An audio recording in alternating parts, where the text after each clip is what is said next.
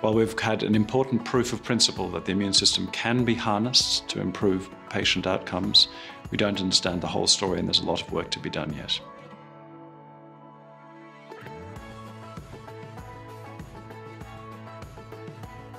Intravital imaging of the immune system has taught us that it's very dynamic and that just can't be captured by conventional microscopy techniques. So we've assembled an interdisciplinary team of world-class experts in physics and engineering to imagine the next generation of intravital microscopes. Using these cutting-edge microscopes, our team of immunologists and cancer cell biologists hope to solve the mystery of why some patients with cancers respond to immunotherapy and others don't. What we have developed is an innovative approach using nonlinear imaging and microendoscope design such that we can access living cells without disturbing the underlying biological processes. The endonichescope is unique because it combines nonlinear imaging, microendoscope, and raster adaptive optics. By using the endonichescope, we can now photoconvert and mark specific dormant cancer cells that evades the immune system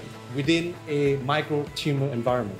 The molecular niche scope allows us to use titanium optical windows where we can look deep within the abdominal cavity and we can look, for example, in the live pancreas. We can even look in the lung because we have our in-house software, Galeene, which can actually stabilize the image and actually allow us to look where we couldn't look before, especially in the immune system where interactions are so rapid. By looking into these dark spaces deep inside tumours, we hope to be able to gain the sort of insights that are not possible through any other means to then go on to develop new therapeutic approaches to eradicate all cancers. We need to look at this in the real setting, in the native tissue, if we're ever going to make a change in this disease.